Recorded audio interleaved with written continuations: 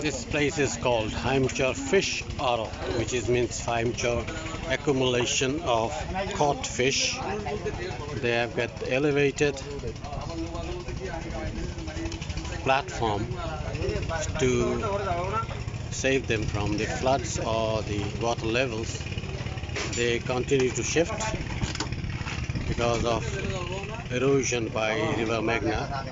This place they say that it may not stay another two to three years. They have to shift again.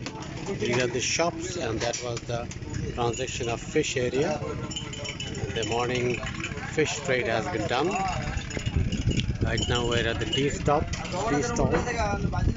Took our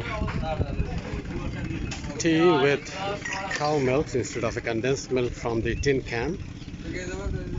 So it was tasty. There is the champion from Sundarban forest who lives with python and Royal Bengal tiger. There are people in the uh, ground floor on the bench. They are mending or making fishing nets, and these will be used for catching fish in River Meghna.